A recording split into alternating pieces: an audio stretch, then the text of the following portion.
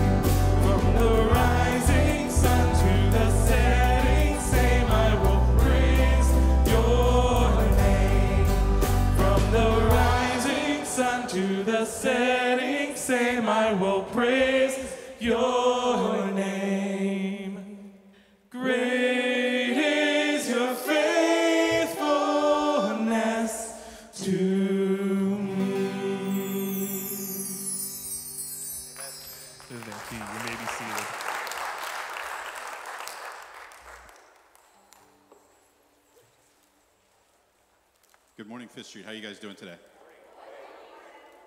Whenever I come back, we always start off week. We're really going to do this today? Let's try again. Good morning, Fifth Street. How are you guys doing today?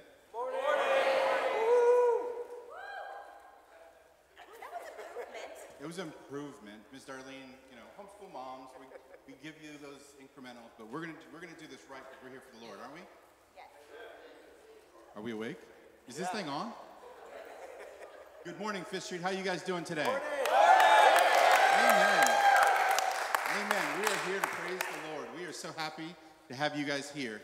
Um, we are a uh, a family-friendly worship service. So if you've got little ones, don't take them anywhere. We love to hear them. Even if they want to get chatty, even if they got to throw through a few tears, the Lord loves them being a part of our service. So we're so thankful that they're here. Um, with that, if for whatever reason you do need to take your children, uh, we have a nursery service from nine weeks to four months old, or we have a hospitality room right outside the doors to your right um, that are, as long as you're escorting them, you're welcome to take them in there as well. But if not, keep them here in service. We love to hear them. Pastor will preach, and he gets encouraged by tears and shouts and all kinds of other things. He loves having children in church because that's a reminder of what? Our church is alive We've got generations to come, and it doesn't end with us. Amen? Amen. If you are new here, um, I promise I'll only be here for the month, and then I'll rotate out, and you'll get a new, whole new deacon. But while I'm here, if you'll fill out a connect card and give it to one of the ushers, we have a small gift for you. But we want to make sure that we have a record of your visit.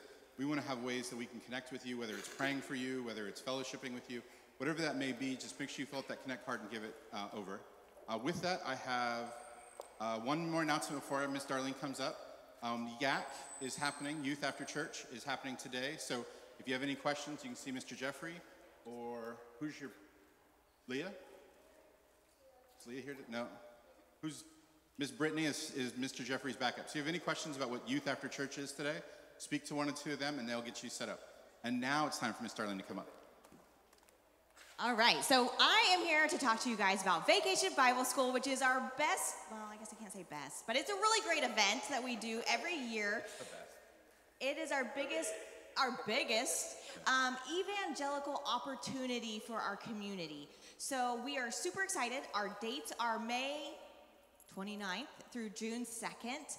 Um, the first two night, three night, three nights are at night, and then Saturday and Sunday we do those days on in the morning. So we try to be very flexible for those of you that have jobs, um, and so that everybody can participate. Now here's what I need. Today, if you are a member of our church living a biblical lifestyle, we need you to volunteer to lead with us. It's as simple as being a line leader and helping kids get from one station to the other, or being a security, or doing crafts or recreation. We have very easy jobs. If you're like, let me teach the kids, I've got a job for you too. So come and see me and Rochelle in the foyer today. We have about two weeks that we need to get all of our slots filled so that we can open registration. We can't re- open registration if we don't have volunteers. So join me in the back after church so I can sign you up. And even if you don't know where you want to serve yet, just let me know and we'll let the cards settle and then we'll let you know how you can serve us. All right, that's it. Thank you, Miss Darlene. Um, Miss Alice?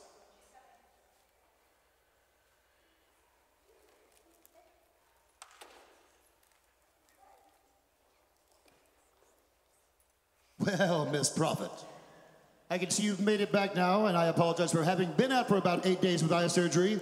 But you know, I like to see the new members before they're brought out. We haven't had a chance to interview anyone so far.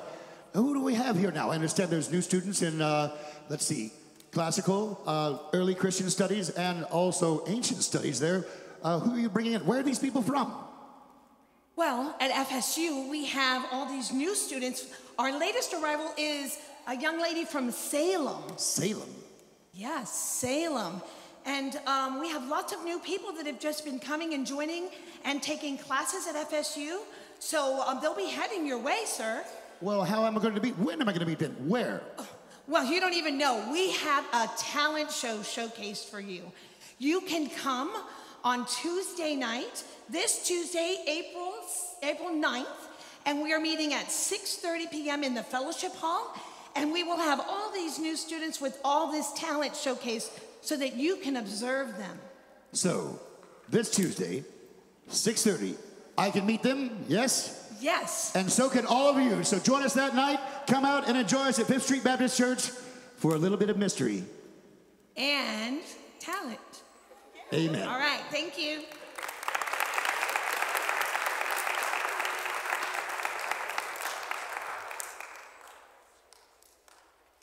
One last announcement. Um, don't have as loud of a voice, Mr. Mr. Frank, so I'll get right on top of this mic. Do y'all guys remember when we did the Lottie Moon offering? Yeah. Who had Lottie come visit them? Do y'all remember the budget that we set for Lottie Moon? Do you remember that we busted the budget we set for Lottie Moon?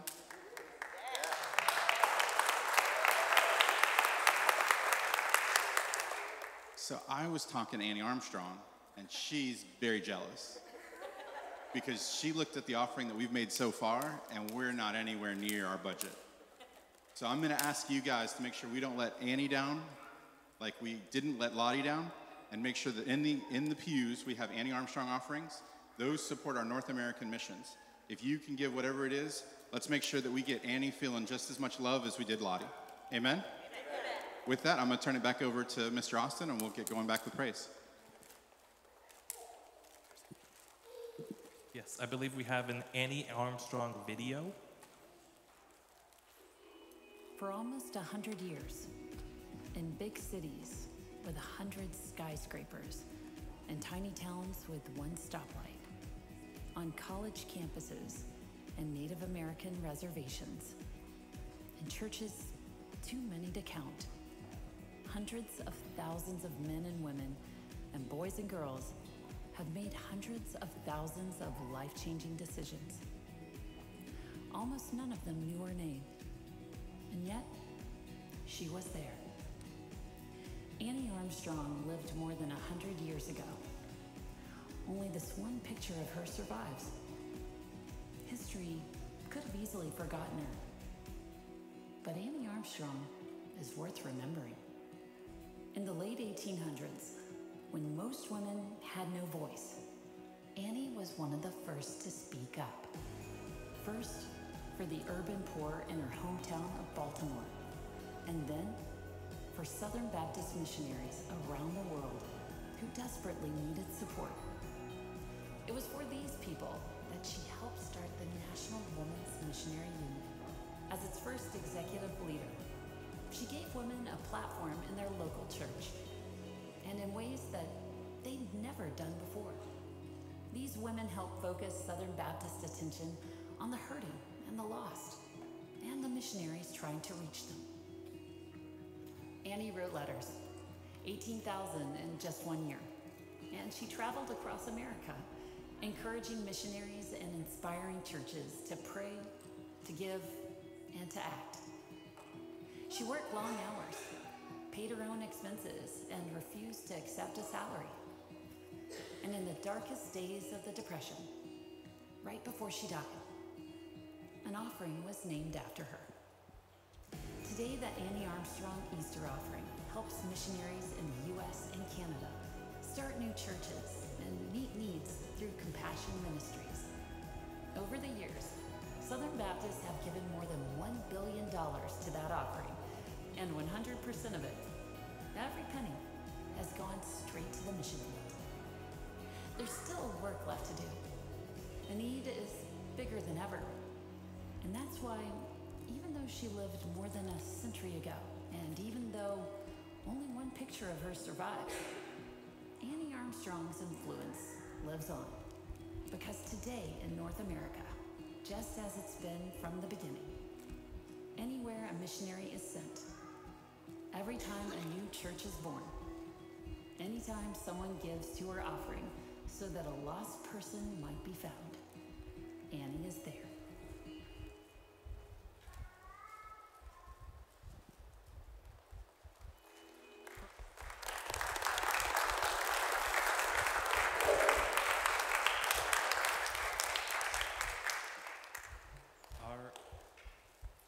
Church is moving in our midst, and we have so many things blessing us and so many ways to offer our blessings. Let us continue our service with worship. We stand and sing Egypt.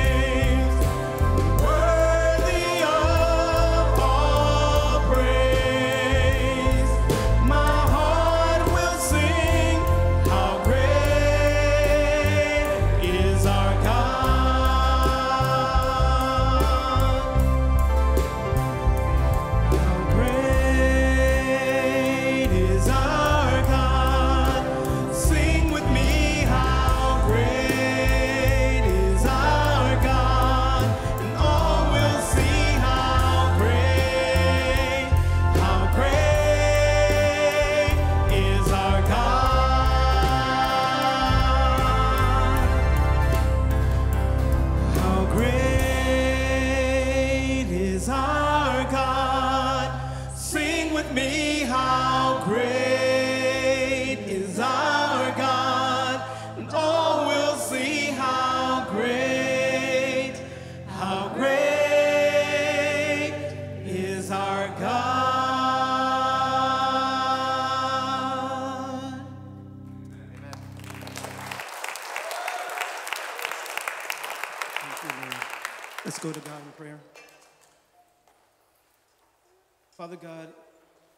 said in your word Give, and it shall be given unto you.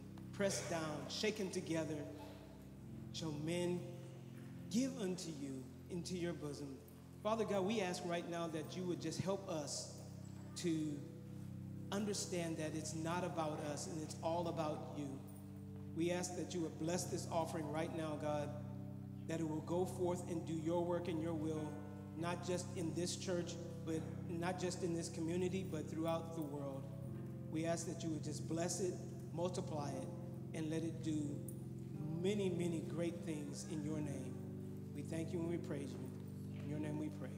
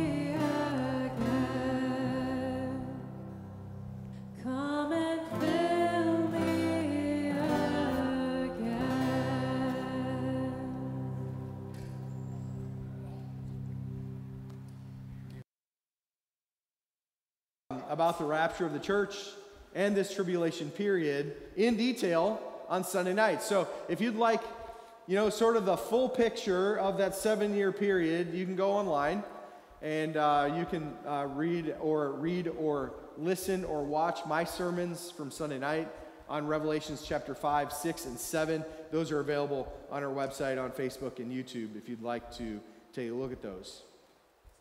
Jesus, at this point on this Wednesday, in the last week of his life, was prompted to prophesy about what the world will be like immediately before he returns when one of his disciples begins to admire the beautiful temple grounds. This temple was built by Herod, uh, who was a fairly cruel Roman leader, but desired to build something uh, to honor himself and to honor God, uh, to honor the Jewish God, um, Yahweh, the one true God. Um, and it took him over 50 years. In fact, when Jesus was walking on the earth at this time, the temple still wasn't completed in its fullness, but it was still beautiful. And as Jesus spent that Wednesday teaching, he and the disciples are now walking out of the temple and they're admiring its beauty. One disciple says, Teacher, behold, what wonderful stones and what wonderful buildings. That in itself was not wrong. It, it was a beautiful, beautiful facility.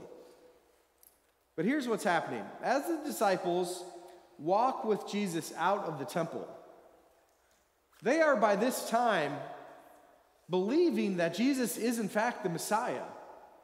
But they misunderstood what Jesus would do and when he would do it. So Jesus spends this last week of life, first on Palm Sunday, Jesus rides into Jerusalem on a donkey, and you remember that. I threw quite a fit up here to get us excited about Jesus riding in as the crowds yelled, Hosanna, Hosanna, Hosanna in the highest.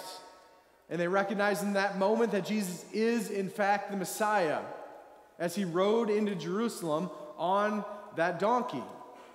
And then Jesus spends the next couple days going in and out of Jerusalem, spending his nights in an adjacent village called Bethany. And so his disciples, they, they think that this is it. This is the restoration of the kingdom that all of the Old Testament prophets preached about, right? Jesus now has taken his seat in the temple and he's preached and brought truth from God's word, and they're seeing him do miraculous deeds. So on this Wednesday, as they leave the temple grounds, his disciples believe that this is it. This is the restoration of God's kingdom that the Old Testament prophets told us about. Jesus is going to take his seat of authority. Israel is going to recapture all of our land, and God will not only rule in Israel, but he will rule all the earth, just like he promised. They believe that this is about to happen now, on this Wednesday. They believe that he was going to establish his earthly kingdom. And thus, this prompts Jesus to tell them about the timing of the end. And in Mark chapter 13, verse 4, his disciples say, Tell us, when will these things be, and what will be the sign when all these things are going to be fulfilled? So, the first thing that Jesus is going to do with his disciples, now by this point, they've reached the Mount of Olives. And they're looking down on the temple, and Jesus is about to prophesy about the end, or rather, the beginning of the end. And so in verses 1 through 13, which I'm just going to briefly um, review with you because I preached on this on Palm Sunday, he's going to talk about the beginning of the end. So, so some things that are going to happen that are sort of going to lead up to the end. And he's answering the disciples' questions. How will we know when the time will, will be right? First thing, verses 1 through 4, the temple will fall. Remember, they had just said, Jesus, look, look at this. Look at the stones. Look, look at this beautiful precipice. Look how beautiful it is. And Jesus tells them that it will fall. That's a big deal for the Jews, right? They believe that Jesus is going to take his place of authority in that temple that's just been almost completely rebuilt. It's time for Jesus to take his place of authority here. It's time to restore the kingdom of God with our Messiah, Jesus from Nazareth. And the first thing Jesus says to them is this all these stones will fall. Not one stone will be left upon another. You see, the temple and the worship taking place in it produce no spiritual fruit. Therefore, like the fig tree that Jesus cursed in Mark chapter 11, the temple and its fruitless system of worship will fall, and it did fall. In AD 70, the temple fell when Rome Caesar ordered the destruction of Jerusalem after the Jews revolted, and not one stone was left upon another. That prophecy was fulfilled already in AD 70. Then Jesus, he moves in verse 5 of Mark 13 to talk about things that will happen leading up to his return. And the things which he's going to describe are going to happen, and then over time, they're going to increase in intensity. In verses 5 and 6, Jesus tells us that there will be many false Christs. Many will come claiming to be the Messiah. And, and right now, in, in our world, in our culture today, there's all kinds of false messiahs. There are all kinds of people, all kinds of movements in our culture that claim to be your and my salvation. Amen? And that's going to keep happening. It's going to keep happening more and more and more. Verses 7 and 8 tell us that there's going to be increasing wars and a constant threat of war on a global level. On top of that, increasing intensity in earthquakes, famines, and other natural disasters. Those are not only going to keep happening, they're going to get worse over time. Verse 9 tells us that there will be a persecution of Christians on a global level and to a degree unseen in all of history. We've seen, of course, persecution of Christians, and that, that goes up and down in intensity based on where you live. But what will happen is this will begin to happen on a global level and, and at, at an intensity level that we've never seen before. And then, verse 10, Jesus says this global persecution of Christians will be coupled with the sealing and sending of 144,000 Christian Jewish preachers. You can read about this in Revelation chapter 7. They will have the glorious effect of spreading the gospel message to all people everywhere. So you see, as what the enemy intends for evil, as persecution increases and Christians are martyred for their faith, that will simply be fuel for the fire of the gospel. And people will be during that time saved at numbers and to the degree that this world has never, ever seen in our history. Innumerable people, as, as John saw in Revelation chapter 7, from all around the world will be saved during this period of time. In verses 11 through 13, Jesus says, the things leading up to his return, we will see faithfully following Jesus will be unpopular. It's already unpopular. It will be countercultural. Family members will turn on one another, even to the point of having one another arrested and put to death. But have no fear, he says. Have no fear. Because the Holy Spirit will provide the guidance that we need in those last days. He will even provide the very words that you need to say in those moments where you need to say them many will be put to trial and or death for our faith in Jesus. And Jesus says, these are just the beginning of the end. We live in that period of time now. And the difficulties we face, like childbirth, will increase in intensity until a, point in time when Jesus returns to rapture or take up all born again believers to be with him in heaven. So we live in a season right now before the rapture of the church. When these things that Jesus describes in verses 1 through 13 will continue to happen, they will continue to increase in intensity until the point in time which God has determined when Jesus will return part way in the clouds and take us to be with Him in heaven. And then all the believers, the whole church, will be taken up to be with Christ. And after that time, after that rapture, then a period of seven years will begin. After the rapture of a church, the seven year tribulation will begin. Next, Jesus describes, beginning in verse 14, and that's what I'm going to focus my time on this morning. He describes what will happen during that period of seven years. Now, if you're a born again believer, you won't be here. But during that time, other people, after the church is gone, they'll be saved and they'll have to walk through this. And it will be a very difficult, it will be a horrible, horrible time. So now Jesus is telling his disciples first, he told them about the events leading up to the rapture, which we see if you want to read about it in 1 Thessalonians 4 16 and 17. Next, he's going to say the, the things leading up to the very end. So, this is the last seven years before Jesus comes back. These are going to be the things that happen. Look at verse 14.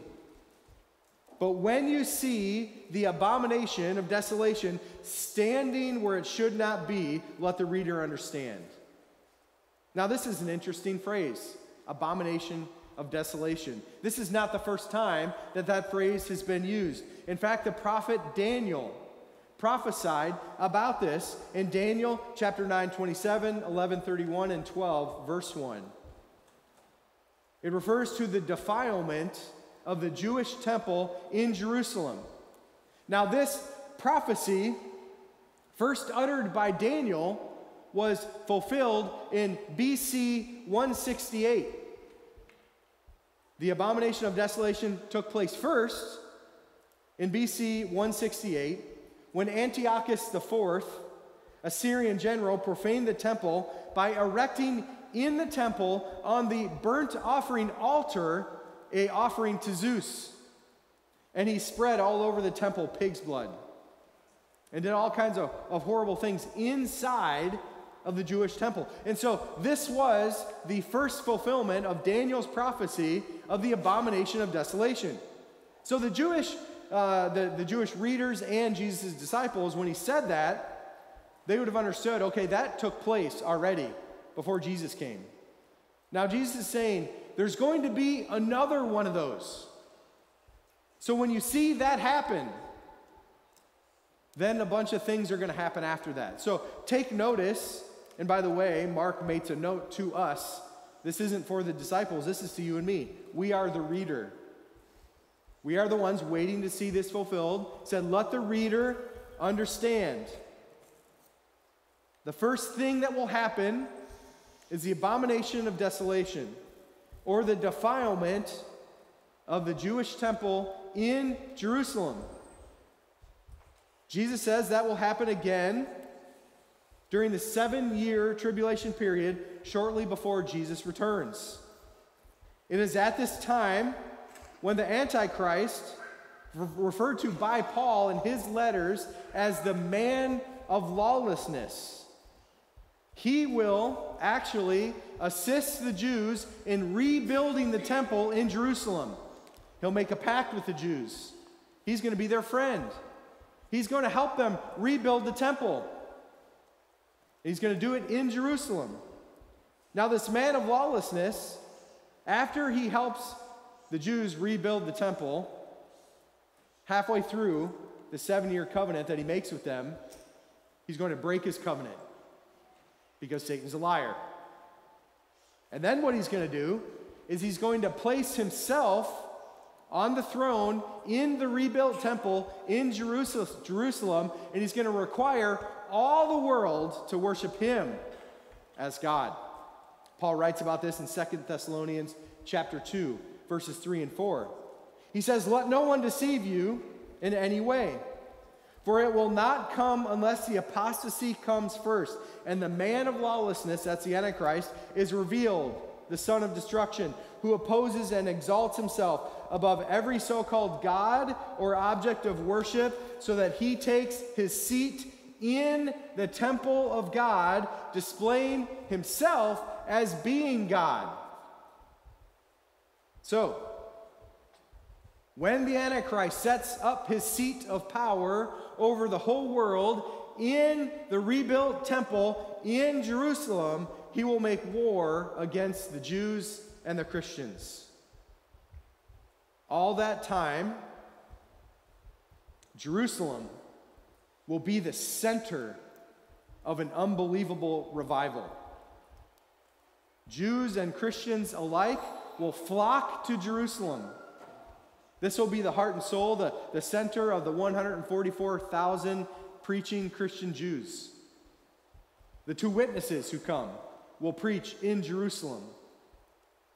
And so it makes sense that the enemy, Satan, will place his Antichrist in the center of the temple in Jerusalem, where he will declare himself to be God. And at that time, when the Antichrist takes his position of authority in the temple, an intense, unbelievable, escalating persecution will take place in Jerusalem. Jesus continues, look, verse 14.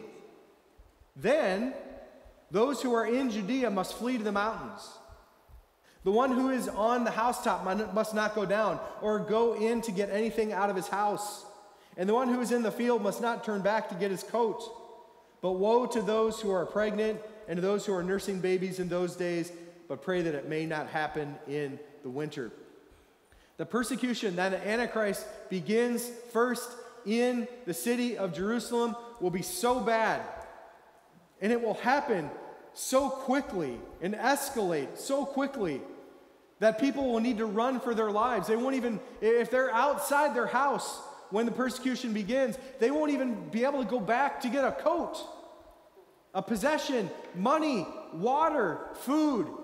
To survive, they will literally, wherever they are in that moment, have to run for their lives. And they will flee to the mountains to barren wastelands where there will be nothing for them no resources, no shelter. And that's why Jesus says, Woe to the, the woman who's pregnant or nursing. Woe to them who are not able to run, who need more nutrition and, and, and, and food and water to take care of babies that are growing on the inside or babies that are taken care of on the outside. Woe to them. Woe if all of this takes place during the winter when it's cold and, and, and temperatures reach a dangerous level. So the Antichrist first will take his position of power in the rebuilt temple in Jerusalem. Then he will immediately begin persecuting Jews and Christians alike at a level that we've never seen. It will be so bad when it begins and so intense that people who live in Jerusalem won't even be able to go back into their home to get a coat. He continues, verse 19 For those days will be a time of tribulation, such as has not occurred since the beginning of the creation, which God created until now and never will. Unless the Lord had shortened those days, no life would have been saved for the sake of the elect whom he chose. He shortened the days. Our world has experienced some pretty horrific events, haven't we? I mean, just think of uh, the, the, the, the flood during Noah's day. Think of Sodom and Gomorrah. On top of that, think of all of our wars World War I, World War II, the Black Plague, genocidal dictators who have wiped out entire people groups. Most recently, COVID 19. Think, think of all those things. And now Jesus says, nothing that's occurred in the past no natural disaster, no war, no disease, no famine, no persecution will, will even, all those will pair in, pale in comparison to what will happen at this point in time. The events that will take place during that seven year tribulation, and especially during the second half, or the second three and a half years, which is called the Great Tribulation, will be far worse than anything humanity will ever experience. God has already established that time of tribulation, however, and, the, and Jesus says he did so for the sake of the elect. So, before that tribulation begins, there will be a rapture of the church. All born again believers will be taken up with Jesus to heaven. And after the church is taken up, there'll still be people after that who become believers in Jesus. And they're going to have to walk through that time of tribulation. Many of them will be martyred, but some will remain. Jesus says, Woe to those who, who are here during that time, but for their sake, for God's love for them, who identifies believers here as the elect, reminding us that God is still in control, that He shortened those days. If God did not intervene to shorten that seven year or shorten that period to make it only seven years, I believe the enemy sent uh, Satan and his antichrist and demons surely would have uh, killed every single living being on this planet. He continues in verse 21 But then, if anyone says to you, Behold, here is the Christ, or Behold, he's over there, do not believe him. For false Christs and false prophets will arise and will show signs and wonders in order to lead astray, if possible, the elect. So Jesus sort of bounces back to us, to us living today. He gave us the sign of what to look for with the Antichrist in the intense persecution as he takes his seat of power in Jerusalem. He says, therefore, if someone comes now and tells you, hey, look, there's the Christ, or hey, look over there, there he is, he says, don't believe him. Because many false Christs will arise. Between today and that day when that tribulation begins, there's going to be a lot of people who come and go proclaiming to be our Messiah. But look closely at verse 22. It will not be possible for them to betray or to deceive the elect. And so, we as God's elect, God's people, who have the Holy Spirit residing in us, will know that that is not Jesus. They will, we will know that that false Messiah is not our Christ. Paul warns about this. Let me read it one more time in 2 Thessalonians 2 2 through 4. He says, That you do not be quickly shaken from your composure or be disturbed either by a spirit or a message or a letter, as if from us, to the effect that the day of the Lord has come. Let no one deceive you in any way, for it will not come unless the apostasy comes first and the man of lawlessness is revealed, the son of destruction, who opposes and exalts himself above every so called God or object of worship, so that he takes his seat in the temple of God, displaying himself as being God. If someone says, Oh, Jesus has come back, there he is. Well, has the Antichrist taken his seat of a power in the center of the rebuilt throne uh, rebuilt temple in Jerusalem? No, that's not the Messiah. That's very simply what Paul is saying there. So don't let people stir you up. Don't let people get you excited about simple, silly things. Stay in the Word of God. Many, many false Christs will come. Many saviors will enter into our lives and enter into our culture. Jesus told us about what will happen during the time before he returns. Those things, many of them, have not yet happened. The enemy Satan will continue to lure people into his trap to cause people to believe that they are the Messiah. If you go to Google and just type Messiahs or Saviors, there's a whole list of people living right now with followers who've made people believe that they are the false or that they are Christ, when in, in reality they are false Christ. What I want to tell you today, and what, what I believe Jesus was telling his disciples in giving them this information and giving it to us, what Paul was writing to the Thessalonians is this Do not be deceived. Know this. First of all, no one knows the day or the hour of Jesus' return. No one according to Matthew chapter 24, verse 36. We do know that specific things will happen before Jesus returns. Number one, all believers will be raptured up to him in heaven. The Antichrist will be revealed, and he will take his place on a throne in the rebuilt temple in Jerusalem. The world will experience unprecedented war and disease and famine, natural disasters and cruelty on a global scale. And the world, listen to this, according to Revelation, look at verse uh, chapters 5 through 7. The world will recognize those events as God's judgment. So, as long as the world is denying God, the time is not yet. They will, in that time, shortly before Jesus returns, hide themselves in rocks, the book of Revelation says. Ask those rocks to fall on top of them, and they will recognize on a global level that God is judging this world. So, if anyone tries to tell you that they know when Jesus is coming back, you should run. That person is a liar and a false prophet, and he or she is being used by the enemy, Satan, because no one knows the day or the hour of Jesus' return. There are people today that are doing that. If anyone claims to be Jesus who has returned, apart from the perfect fulfillment of every Old Testament and New Testament prophecy given to us by the Lord and his prophets, run. Because that person is a liar and a false prophet and is being used by the enemy, Satan. Don't worry. As powerful as these satanic workers are in the eyes of the, of the world, God will protect us. And God will give us supernatural knowledge through His Word and the ministry of the Holy Spirit. He will enable us to stand and testify about the truth of Jesus Christ. We have nothing to fear. What is, at the end of the day, what is the, the worst thing that could happen to us?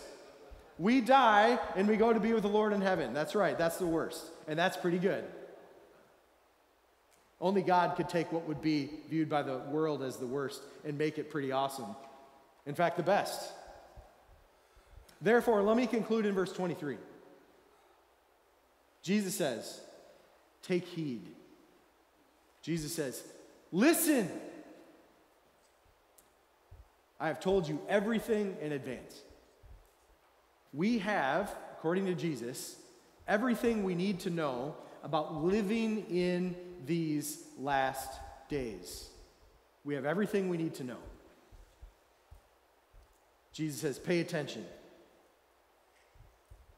In applying that to our lives, first, don't be wrapped up in the things of this world. This world will end. We know it will. I've read, read the end of the book. Jesus tells us in detail how it will end. So don't get wrapped up in the things of this world. All that stuff's going to end, it's all going to be burned up. Focus on the things, instead, focus on the things of the Lord. Keep your eyes focused on Jesus. James Edwards writes The mark of faithfulness is watchfulness. Not foretelling the future, but obedience in the present. When Christ returns, he will fulfill the many Old Testament prophecies about the end. But second, despite imminent signs, believers cannot calculate when or where or how the end will come. When it comes, no one will miss it. Until it comes, no one should be misled. So, how do we live in these last days? I want to I want to give you three ways briefly now. How do we live? How do we live in these last days? Because you know what? The Lord told us how to live. Number one, walk closely with the Lord and obey Him, not the world. As we live in this world, and as we continue to minister in this culture, it's going to get more and more difficult to live an obedient life, to follow the word, and to fulfill the mission. It's not going to get easier over time. We, by God's grace, live in America. We are in a season of blessedness from God here that will not last forever. It's going to get more difficult to tell people you're a believer. It's going to get more difficult and probably down the road illegal or even dangerous to tell people about who Jesus is.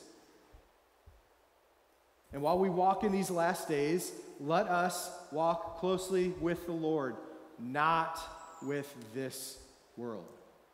Number two, stay on mission. The Great Commission. We're, we're to go out these doors and we're to go and we're, we're to tell the world about Christ. We're to make disciples, baptizing them in the name of the Father and the Son and the Holy Spirit, remembering that He's not left us and He'll never leave us or forsake us, but He'll be with us even to the end of the age.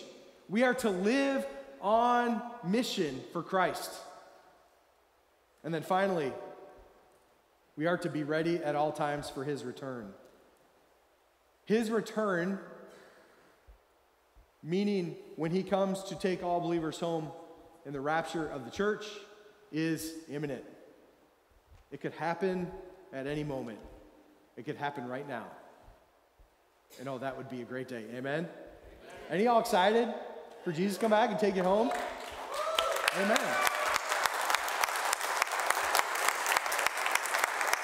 Because the trumpet will sound and the dead will rise first, and then the living will be taken up with him. In that moment, we will be in the presence of Jesus Christ, our Lord and Savior. There'll be no more crying, there'll be no more tears, there'll be no more persecution, there'll be no more death, no more disease, no more aching knees, no more hurting backs, there'll be no more worry about tomorrow. We will be in the presence of the Lord. Amen.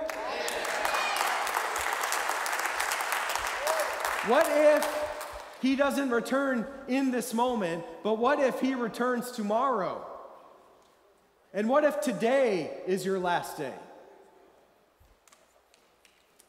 If today is our last day, does that change the way we live?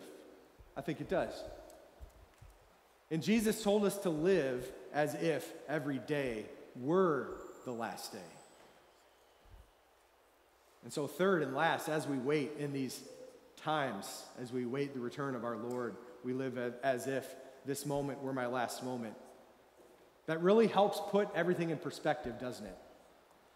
Things that seem really important don't seem quite as important if Jesus is coming back tomorrow. Is your family going to be with you in the air when that trumpet sounds? Your friends, your coworkers, your neighbors?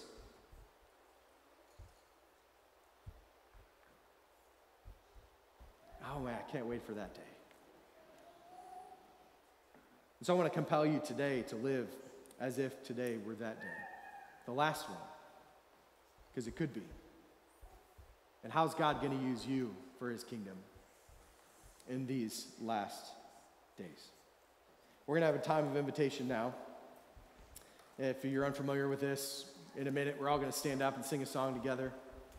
And this is our opportunity to respond to whatever it is that God has done in your heart um, in these few moments we've had to worship together today. Is He speaking to you through His Holy Spirit? Perhaps today is your day of salvation. Maybe you were wondering when, when that trumpet calls and Jesus takes all believers to go to be with Him in heaven, I don't know if I'll, I'll, I'll be a part of the call. Well, you can be. You come forward when we start singing. I want to I want to tell you about how you can follow Christ and know that you're saved. Or maybe you're a believer and it's time for you to come home. Maybe you wandered from the Lord and you now studied with us Mark 13 and you, you, you feel convicted by the Holy Spirit. Like, this is, these are the last days. This is it. I don't have a lot of time left. I need to make things right. You come forward. We'll pray with you. Or perhaps you just have a, a reason that you want to keep yourself to pray and the altar will be open. You come up here and pray. I'll be up here to pray with you if you would like me to do that. But don't let this moment pass. If God's Spirit is moving, don't ignore that. Feed that fire that the Holy Spirit has created inside of you. And let's see what God would use you to do on these last days. Would y'all stand with me? Heavenly Father, we love you. Thank you, God, for giving us these signs, these reminders of what it will be like at the end. Help us to heed this warning. Help us to be at attention. Help us to be at the ready. Help us to be faithful in this time that you've given us. Help us to be watchful for your return and to use the time and the resources and, and what we have wisely. So that, Lord, so that when that trumpet calls or we die first, whichever one happens, we'll hear from you, our Lord, well done, good and faithful servant, as we enter that place you prepared for us. We love you, Lord God. You're a good God. You're a faithful God. We believe that the things that we read about today will happen. We believe that you will meet us where we are in this time of the last days, that you will not leave us alone, that you will give us the words to speak, that you will give us comfort through your Spirit, that you will use this church as an army of gospel preachers, and that many, many, many people in the Keys have yet to be saved. Help us to be the ones that take them this message that changes lives and eternities.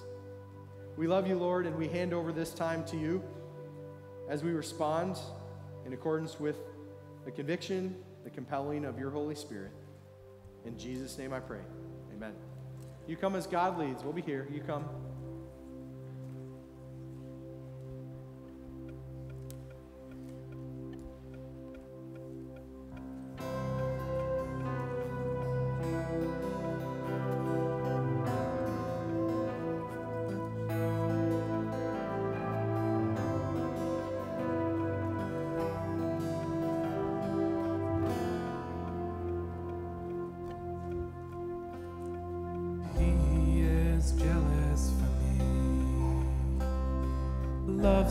A hurricane. I am a tree bending beneath the weight of his wind and mercy.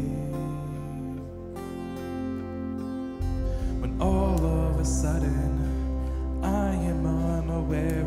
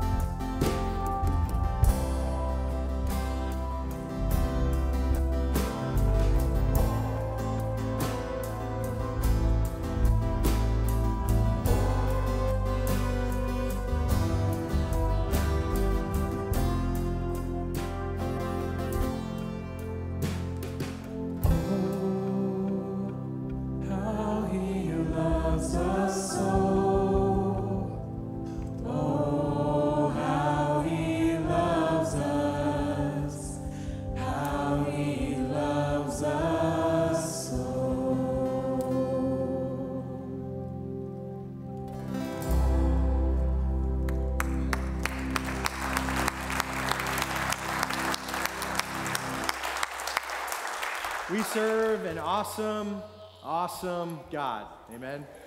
He's a good God, and He's worthy of our worship and worthy of our praise. So, church, go from this place and proclaim the gospel message that changed your life so that others could hear and be saved. Come on back at 6 o'clock tonight. We're back in the book of Revelation. So, if you're interested in what you heard today, that's what we talk about on Sunday nights right now as we move through that book in the Bible. Have a wonderful day. I pray God's blessing upon you and your family.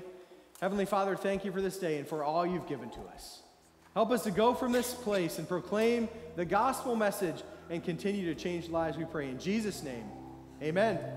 You're dismissed.